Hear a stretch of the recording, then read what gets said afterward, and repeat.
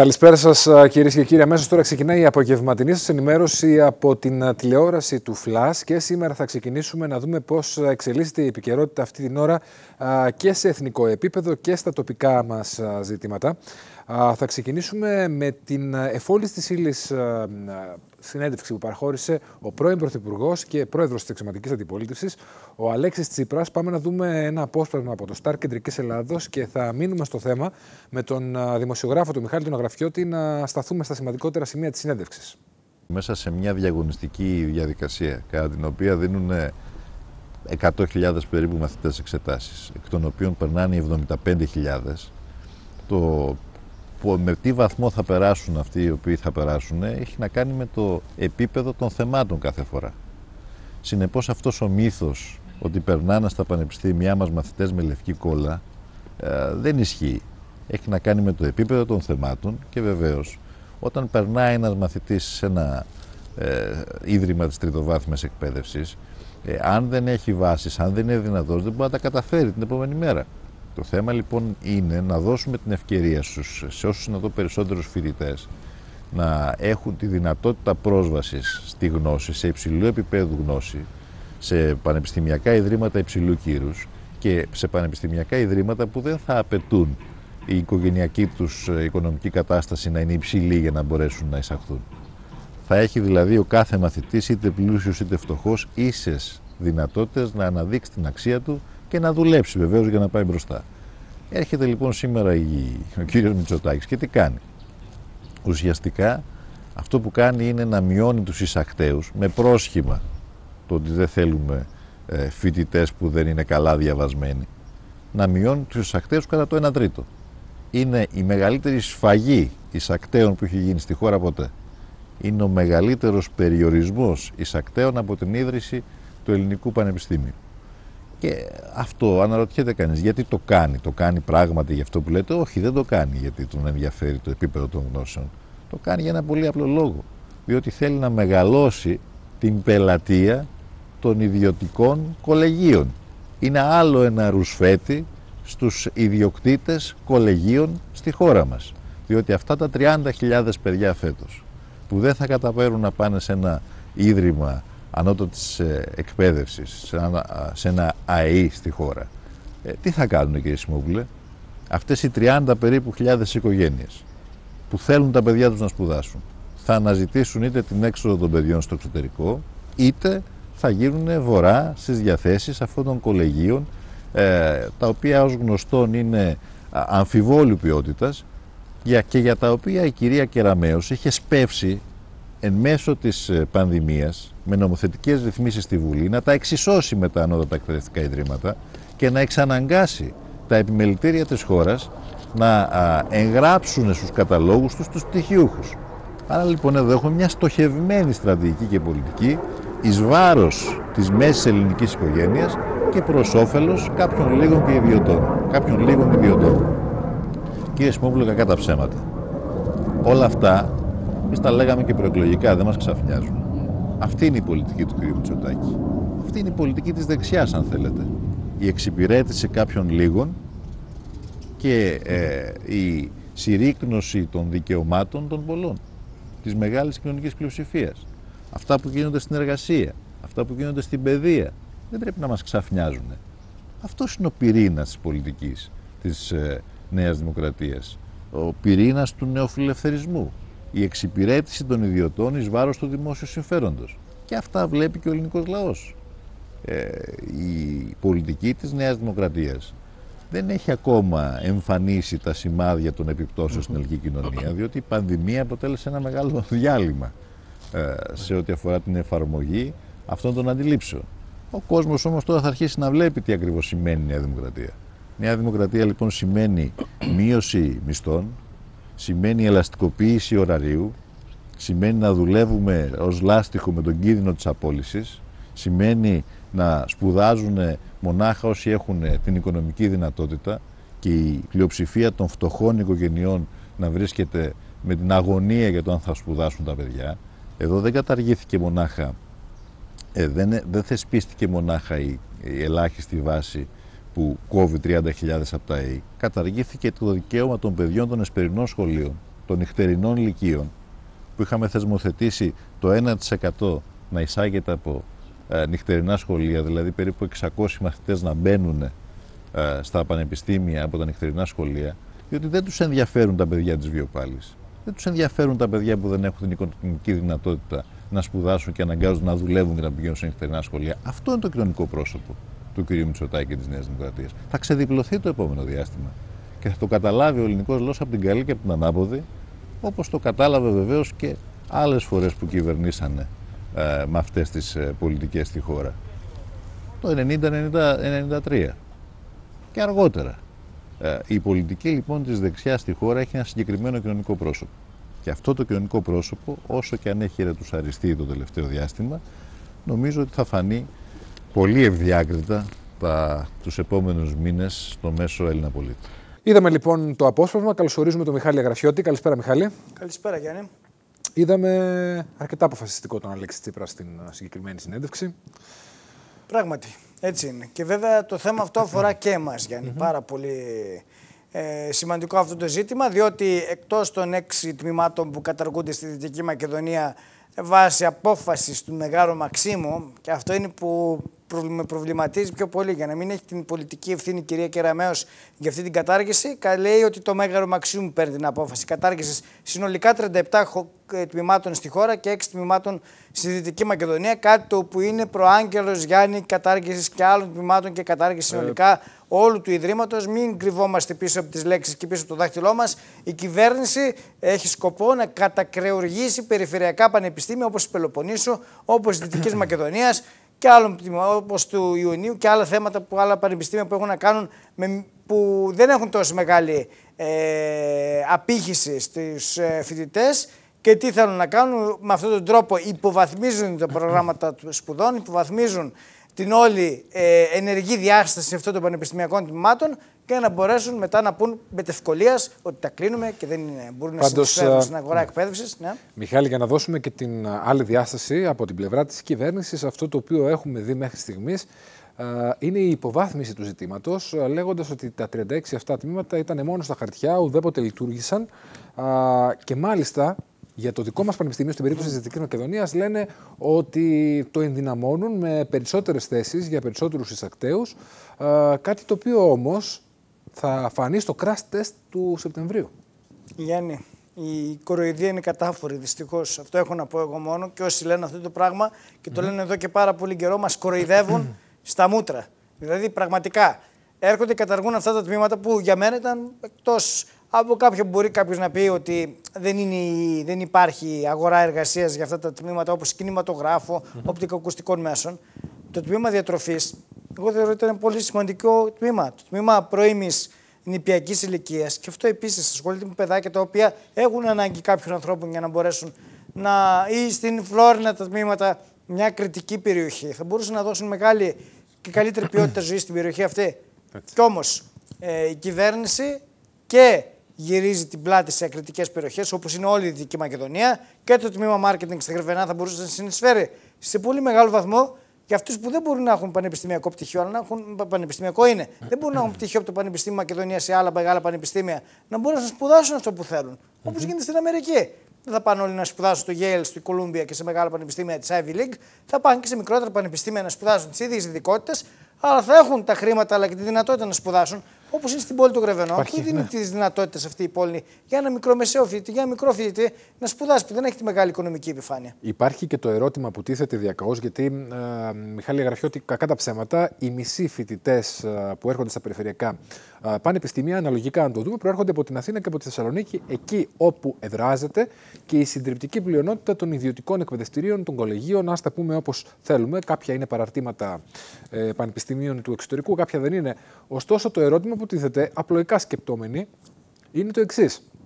Ένας οικογενειάρχης, ένας πατέρας, θα δαπανίσει ε, ένα ποσό ε, για τα δίδακτρα και θα κρατήσει το παιδί στην περιοχή του, στην μεγάλη πόλη, να επιλέξει τι θα σπουδάσει ή θα επιλέξει να χρηματοδοτήσει τις σπουδές του σε ένα περιφερειακό πανεπιστήμιο. Πράγμα το οποίο δείχνει την ανάγκη το πανεπιστήμιο αυτό να μην είναι αποτέλεσμα, το αποτέλεσμα αυτό να μην είναι τυχαίο, η επιλογή του πανεπιστημίου, αλλά να είναι συγκροτημένο. Αυτό σημαίνει ότι πρέπει μάλλον και τα πανεπιστήμια τα περιφερειακά να γίνουν περισσότερο θελκτικά. Νομίζω, Γιάννη, ότι αυτό το πράγμα μπορούσε να έχει γίνει. Όταν μειώνεις τις θέσεις στα κεντρικά πανεπιστήμια ε, εντάξει, δεν μπορούμε να πούμε για την ιδιωτική εκπαίδευση κάτι από τη στιγμή που έχει ψηφιστεί ως νόμος κτλ. Δεν μπορούμε να πούμε κάτι. Όμως ένα παιδί το οποίο θέλει να σπουδάσει φθηνά, σωστά, μέσα από σε μια πόλη πολύ πιο ελκυστική από την Αθήνα. Διότι στην Αθήνα ένα φοιτητής θα χαθεί μέσα στο πλήθος, θα χαθεί μέσα στη διαδικασία αυτή 400 ευρώ η νίκιο. Τα γρεβενά. Μια πάρα πολύ όμορφη για να σπουδάσει κάποιος με ησυχία, να μάθει. Τα Καστοριά το ίδιο. Το Λεμαίδα το ίδιο. Υπάρχουν δηλαδή πόλεις. Από τη δική μου εμπειρία, τα Γιάννενα που δεν είναι ούτε μια πολύ μικρή ούτε μια πολύ μεγάλη πόλη είναι εξαιρετικά. Όπως εξαιρετικά είναι και τα γραβενά που ανέφερες και γενικά η εμπειρία νομίζω των φοιτητών ε, στην περιφέρεια, μάλλον όταν πάνε είναι κάπως περίεργα τα πράγματα, αισθάνονται μουδιασμένοι, αλλά μετά όταν φεύγουν στεναχωριούνται πάρα πολύ και ζουν Νοήτε. μια πολύ καλή φοιτητική ζωή. Γιατί κακά τα ψέματα δεν είναι μόνο το ακαδημαϊκό μέρος, είναι και το τι σκέφτονται οι φοιτητές ότι θέλουν να ζήσουν ε, στη φοιτητική τους ζωή. Απλώς Ωστόσο... Ε, στα Γρεβενάκια είναι πολύ καλύτερη ζωή. με την έννοια ότι και στα Γιάννα και θέλεις 400 ευρώ. Το μηνίκιο θέλεις 400 ευρώ το νίκιο για να μπορέσεις ουσιαστικά να αντεπεξέλθεις στα Γιάννα, στην Κουμωτινή και σε άλλες πόλεις. Ενώ στα Εγκαστοριά και στα Γρεβενά Ούτε 200 ευρώ είναι. 150 ευρώ μπορείς με 100, 100 ευρώ. 100 ευρώ βρίσκεις στην Καστοριά και έχεις και θέα τη λίμνη. Τι λέμε. Ε, σίγουρα Για δηλαδή, να δούμε υπάρχει... θα... Είναι πολύ καλύτερη Γιάννη η ποιότητα ζωής προσφέρεται σε μια πόλη της Δυτικής Μακεδονίας. Οπότε ακόμα και τα Γιάννα που επίσης είναι περιφερειακή. Και οι προσωπικές σχέσεις με τους ε, καθηγητές, με την καλή έννοια, την έννοια της συνεργασίας εννοώ, ε, είναι διαφορετική, δεν είναι τόσο απρόσωπα τα πράγματα και συντελείται και ένα καταπληκτικό έργο. Και δεν είναι ότι επενούμε το σπίτι μας, ε, βλέπουμε καθημερινά διακρίσεις από φοιτητές και καθηγητές στο Πανεπιστήμιο Δυτικής Μακεδονίας. Βλέπουμε ερευνητικό έργο που είναι το ζητούμενο. Το μόνο που μένει είναι να υλοποιηθεί περαιτέρω η εξωστρέφεια. Είχαμε κάποιες θετικές ενδείξεις που ο πρίτανης, κ. Στοδουλίδη, μας είπε για ε, ξενόγλωσσα, αγγλόφωνα τμήματα που θα λειτουργήσουν για να γίνει πόλος έλξης. Για να δούμε. Ε, πρέπει να είμαστε αισιόδοξοι, Μιχάλη, αλλά να μην ξεχάσουμε ποτέ έτσι, με αυτή την γκρίνια εντός εισαγωγικών να αφυπνιζόμαστε και να αφυπνίζουμε και αυτούς που πρέπει να δείξουν στην Αθήνα ότι χρειαζόμαστε ένα πιο ισχυρό πανεπιστήμιο. Κυρία Κεραμέως, λοιπόν, πρέπει να πάρει πίσω και την απόφαση για, την, για το κλείσιμο πριν να καν αρχίσουν όλων αυτών των πραγμάτων. Δεν θα την, Δεν θα την πάρει. Και δεύτερον, και η απόφαση πρέπει να πάρει αναστολή για τη, τη βάση ουσιαστικά του 10. Αυτό γίνεται και στη σημερινή περίπτωση, διότι θα αντικρίσουμε καταστάσεις και εικόνες οι οποίες θα μας ε, λυπήσουν πάρα πολύ στο μέλλον και βέβαια ένα ίδρυμα το οποίο η Δυτικής Μακεδονίας, το οποίο πραγματικά πιστέψαμε, επενδύσαμε όλοι οι Δυτικομακεδόνες πάνω σε αυτό, θα χαθεί ε, και προς όφελος φυσικά άλλων πανεπιστημίων της γειτονιάς μας ε, που θα δημιουργήσουν θέμα μετά μετέπειτα στην τοπική κοινωνία. Αυτό θα γίνει. Δεν υπάρχει, δεν είναι δεδομένο και φυσικά και οι έρηδε θα είναι πολλές. Και η υποβάθμιση γενικότερα της Δυτικής Μακεδονίας θα είναι μεγάλης, έπειτα, μεγάλη έπειτα από την απολυγνητοποίηση και την μεγάλη ενεργεία που έχουμε στην περιοχή μας. Μάλιστα. Το βράδυ λοιπόν θα σε δούμε Μιχάλη στο βραδινό κεντρικό δελτίο ειδήσεων του ΦΛΑΣ. Ευχαριστούμε πάρα πολύ για την παρουσία σου. Καλή συνέχεια. Δίνουμε συνέχεια στο δελτίο μας, κυρίες και κύριοι. Πάμε να δούμε ένα ρεπορτάζ που αφορά σε κάτι καινούργιο που μπαίνει στη ζωή μας. Το ψηφιακό πιστοποιητικό είναι μια πραγματικότητα. Συμπληρώνοντας λοιπόν με, με τους αριθμούς, κάνοντας χρήση των, των αριθμών του TaxisNet και του AMCA μας, μπορούμε να εκδώσουμε ε, πολύ γρήγορα το ψηφιακό πιστοποιητικό με το οποίο μπορούμε να ταξιδέψουμε στην Ευρωπαϊκή Ένωση είτε έχουμε εμβολιαστεί είτε έχουμε νοσήσει από τον COVID-19 η συνέχεια επί της οθόνης. Άνοιξε από σήμερα η πλατφόρμα για την έκδοση ψηφιακού πιστοποιητικού. Πρόκειται για μια ψηφιακή απόδειξη ότι ένας πολίτης έχει εμβολιαστεί κατά του κορονοϊού, είτε έχει υποβληθεί σε διαγνωστική εξέταση με αρνητικό αποτέλεσμα, είτε έχει αναρρώσει από την νόσο.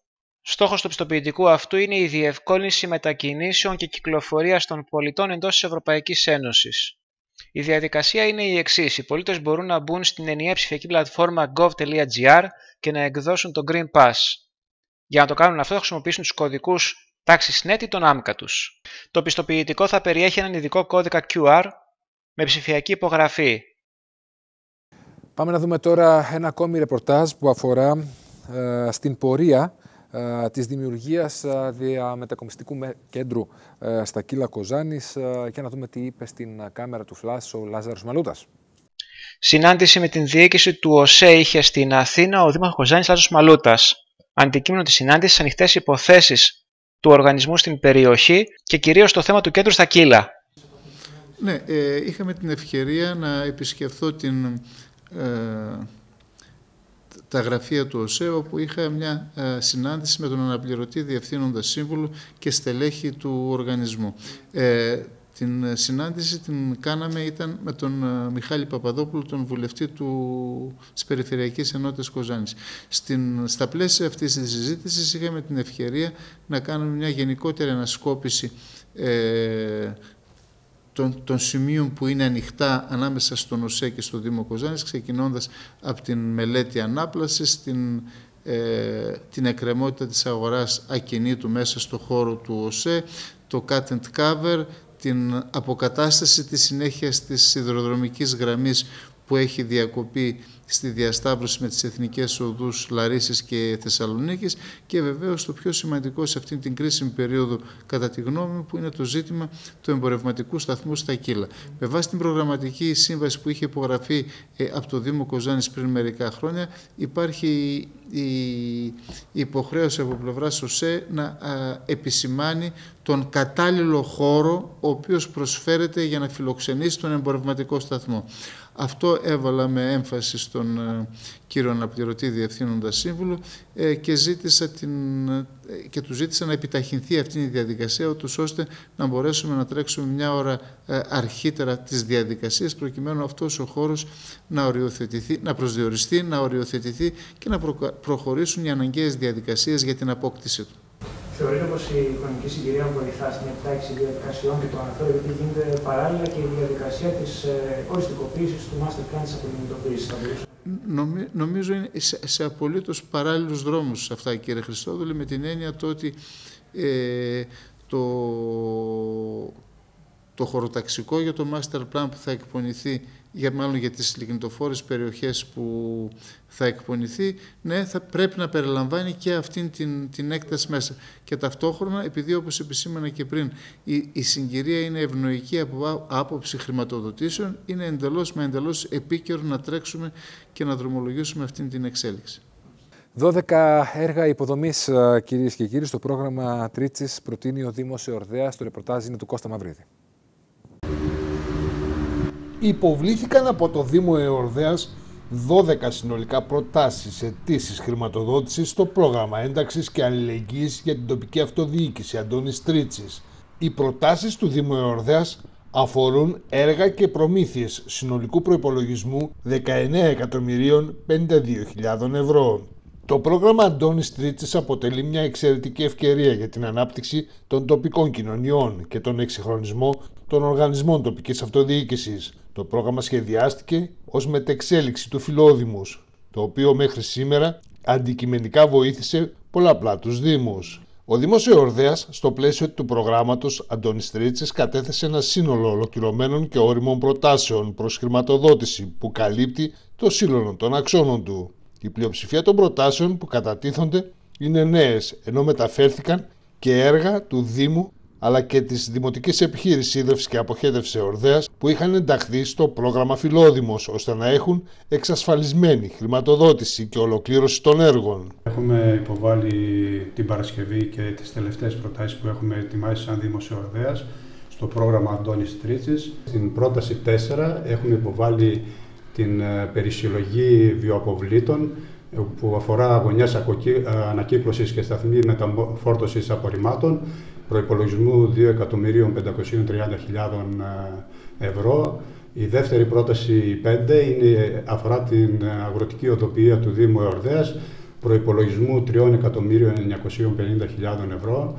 Έχουμε την τρίτη πρόταση που υποβάλαμε την ηλεκτρονική διακυβέρνηση που αφορά τη βοήθεια στο σπίτι ε, καθώς επίσης και την ψηφιοποίηση των αρχείων της ε, πολεοδομίας ε, προϋπολογισμού 605.000 ευρώ περίπου. Στην πρόταση 9 έχουμε υποβάλει ορίμαση έργων και αφορά την, ένα έργο που θέλουμε να κάνουμε στην πρώην Βίλα Λεσγίδη, ένα κέντρο βραχυχρόνιας φιλοξενίας συγγενών και ασθενών του Ποδοσάκιου Νοσοκομείου με σοβαρά νοσήματα του Δήμου Ερδέας. Στην επόμενη πρόταση αφορά την, την προμήθεια και τοποθέτηση αυτόματων επινδυτών σε εξωτερικούς χώρους. Εκεί έχουμε υποβάλει μια πρόταση για προμήθεια 13 απεινιδωτών.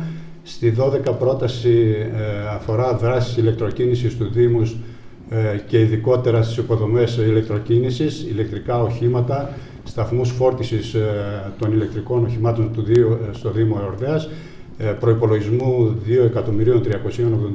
2.387.000 ευρώ. Επίσης, στην πρόταση Ελλάδα 1821 2021 έχουμε υποβάλει μια πρόταση για μια εκπόνηση μελέτης που αφορά τη μετατροπή του κτηρίου 157 της, ε, της ΑΕΒΑΛ στο ΒΙΟΠΑ ε, ως ε, μουσείο λιγνίτη. Ε, αυτές είναι οι προτάσεις που έχουμε κάνει στον Αντώνη Τρίτσι, καθώς επίσης υπάρχει και ένα έργο τα αντιπλημμυρικά της Πτολεμαΐδος, 800.000 ευρώ που μεταφέρεται από το Φιλόδημο και είναι έτοιμο προς δημοπράτηση. Δεν είχε δημοπρατηθεί μέχρι τώρα γιατί είχαμε ένα θέμα επειδή γίνεται σε μέρος που ανήκει στην περιφέρεια. Έχουμε τα έγγραφα από την Περιφερειακή Ενότητα Κοζάνης που λέει το OK και μας δίνει την άδεια χρημα... ε, δημοπράτησης. Αυτό είναι ήδη έτοιμο και ενταγμένο και τον επόμενο χρονικό διάστημα θα γίνει η δημοπράτηση του παραπάνω έργου. Να δούμε τι θα γίνει ε, την επόμενη Πέμπτη στην ε, απεργία ε, που έχει προκηρύξει η ΓΕΣΕΕ, περισσότερα από τον κύριο Τσελφίδη. Πήρε απόφαση το Διοικητικό Συμβούλιο της ΓΕΣΕΕ για 10 του μήνα πανελλαδική απεργία και σήμερα θα πάρουμε απόφαση και εμείς για να συμμετέχουμε κανονικότητα στην απεργία. Πρέπει να πω ότι για το συγκεκριμένο νομοσχέδιο που κατεβάζει ο κύριος Χατζηδάκης ο Υπουργός ο κ. Χατζηδάκης. Ε, να πούμε μερικά σημεία όπου λέει για την διευθέτηση του χρόνου εργασίας για το 8ωρο που λέμε ότι καταργείται το 8ωρο. Για μένα βεβαίως δεν καταργείται, αλλά χτυπιέται το 8ωρο και δημιουργεί πάρα, πάρα πολλά προβλήματα. Και σήμερα συμβαίνουν, ε, γιατί έχω πει πολλές φορές, για το συγκεκριμένο ζήτημα μίλησα πολλές φορές, γιατί και σήμερα συμβαίνει, αλλά απλά ε, το νομοσχέδιο νομιμοποιεί τον εργοδότη να αυθαιρετεί. Αυτή είναι η διαφορά. Είναι βεβαίως το μεγάλο αγκάθι είναι οι ατομικές συμβάσεις που αντιλαμβάνεστε ότι ένας εργαζόμενος για να κάνει μία σύμβαση με έναν εργοδότη, σε τι θέση βρίσκεται, να κάθεται απέναντί του και να κάνει τη σύμβασή του. Ε, το, το, πιο δύσκολο θεωρώ που κομμάτι που υπάρχει μέσα στο συγκεκριμένο νομοσχέδιο είναι ε, αυτό. Τώρα, το άρθρο 15, όπου κάλυπτε τη συνδικαλιστική δράση, το καταργεί, δεν μπορεί πλέον ο συνδικαλιστής να έχει την κάλυψη που είχε και να λειτουργεί όπως πρέπει να λειτουργεί. Και βεβαίως πάμε στην επιθεώρηση εργασίας, το γνωστό ΣΕΠΕ, όπου το κάνει ανεξάρτητη αρχή, που εδώ πρέπει να πω ότι ο ΣΕΠΕ δημιουργήθηκε με διεθνής συλλογική σύμβαση και εδώ και 50 χρόνια ανήκει στο κράτος. Και τώρα γίνεται μία ανεξάρτητη αρχή, δηλαδή τέλος ο έλεγχος προς τους εργοδότες. Αυτά είναι δώρα φαντάζομαι, και τα θεωρώ ε, ανεπίτρεπτα και θα έλεγα ε, κάποιοι μιλούν για απόσυρση νομοσχεδίου. Φτάνουμε και ε, για να αποσύρει το νομοσχέδιο η κυβέρνηση. Βεβαίως εμείς θα δώσουμε τη μάχη μας. Πρέπει να πω ότι μέχρι την Παρασκευή υπολογίζουμε ότι θα κατατεθεί στη Βουλή. Η διάρκεια του θα είναι καμία 15 μέρες στις Επιτροπές της Βουλής και κατά τις 20 κάπου εκεί υπολογίζουμε ότι θα ψηφιστεί. Τώρα, εάν μέσα στις επιτροπές ε, και με τις ε, κινήσεις που γίνονται από ΓΕΣΕ προς το Υπουργείο καταφέρουμε κάτι να διορθωθεί, ε, μακάρι να συμβεί αυτό. Κατά τα άλλα, είναι ένα έκτρωμα το συγκεκριμένο νομοσχέδιο. Και εμείς καλούμε όλους τους εργαζόμενους 10 του μήνα την Πέμπτη να δώσουν μία απάντηση στο συγκεκριμένο, στο συγκεκριμένο νομοσχέδιο για μία ακόμα φορά, ακόμα και σε αυτό το κορυφαίο θέμα, το εργατικό κίνημα δυστυχώς δεν είναι ενωμένο. Ξέρετε πολύ καλά ότι πριν, τρεις, ε, πριν κάποιες μέρες ε, βγήκε το ΠΑΜΕ και δήλωσε μία ημερομηνία 3 ε, του μήνα. Χθες ε, το ΠΑΜΕ και κάποιες άλλες αριστερές, θα έλεγα, δυνάμεις. Χθες ψηφίσαν όλοι το 10, εκτός από το ΠΑΜΕ βεβαίως, αλλά ε, ανακοίνωσε χθες ότι δεν θα κάνει απεργία 3 του μήνα, θα κάνει μία συγκέντρωση, θα κάνει μία συγκέντρωση 3 του μήνα και συντάσσεται ε, με, το, με την ημερομηνία που έχει βγάλει η ΓΕΣΕ και βεβαίως και το Εργατικό Κέντρο Αθηνών και ε, η ΑΔΔ. Συγκεντρώσεις θα γίνουν. Ε, οι συγκεντρώσεις θα εξαρτηθεί, έχουμε εξουσιοδοτήσει την Εκτελεστική Επιτροπή της ΓΕΣΕ, θα δουν πώς πάνε οι διαπραγματεύσεις ε, στην Επιτροπή της Βουλής, πώς πάνε τα πράγματα γενικότερα και θα δούμε εάν θα κάνουμε μία συγκέντρωση στην Αθήνα ή δύο Θεσσαλονίκη Αθήνα ή κατά τόπους εάν θα γίνουν συγκεντρώσεις. Θα, αποφα... Ε, θα αποφασιστεί στη συνέχεια. Παραμένει το αίτημα ε, στην δευτεροβάθμια εκπαίδευση, κυρίες και κύριοι, για λιγότερους ε, μαθητές την επόμενη ε, ακαδημαϊκή χρονιά. Πάμε να δούμε το σχετικό ρεπορτάζ. Εξαιρετικά υψηλά ποσοστά εμβολιασμού παρουσιάζει ο κλάδος των εκπαιδευτικών. Αιτία το γεγονός πως οι εμβολιασμοί ξεκίνησαν νωρίτερα από ότι ο υπόλοιπος πληθυσμός, αλλά και η ατομική ευθύνη των εκπαιδευτικών που αποφάσισαν να εμβολιαστούν για να είναι ασφαλείς οι σχολικές αίθουσες.